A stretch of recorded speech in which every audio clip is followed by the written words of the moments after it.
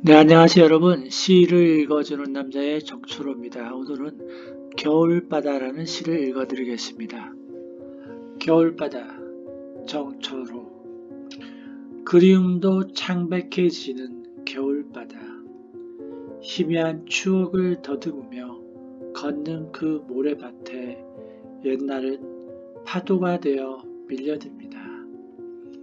아픔도 미움도 저 바다에 던지려 왔건만 오히려 당신은 바람이 되어 내 가슴에 돌을 던집니다. 겨울은 하늘 아래 모든 것을 창백하게 만듭니다. 누구나 겨울바다를 생각하면 추억 하나 머리에 떠오를 겁니다. 대학교 때 겨울에 경포대에 간 기억이 납니다. 추운 겨울 민박집에서 잠을 자기 위하여 브루스타를 켜고 잤던 기억. 겨울 밤바다를 거닐어 보았습니다.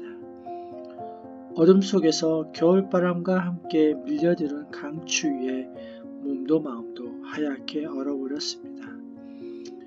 겨울바다의 슬픔과 고독을 포말에 스쳐버리려 왔건만 오히려 더 가슴에 승배였습니다. 겨울이 가야 봄이 오듯이 슬픔이 가야지 행복이 오는 것 같습니다. 고통이 크면 기쁨은 더 배가가 되는 것 같습니다. 이번 겨울 슬기롭게 이겨나가야 할 것 같습니다.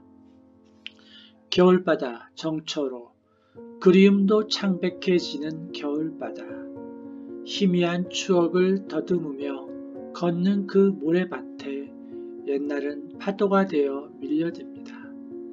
아픔도 미움도 저 바다에 던지려 왔건만 오히려 당신은 바람이 되어 내 가슴에 돌을 던집니다. 네, 오늘은 겨울바다라는 시를 읽어드렸습니다. 감사합니다.